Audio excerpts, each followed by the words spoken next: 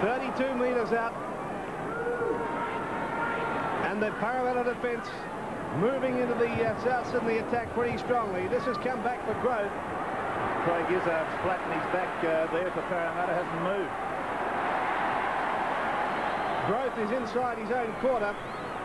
Quick hands, trying to get out of the quarter as uh, Izzard still flat in his back, receiving attention. But Parramatta have got enough trouble trying to get out. They'll be helped by this penalty. Izzard has not moved, and there's plenty of pushing and shoving back on the corner. Well, this is the uh, thing on the State Bank replay. A very swisho bit of uh, arm work there by one of the Parramatta players. Seemed to collect his own man by the look of it. But down he's gone.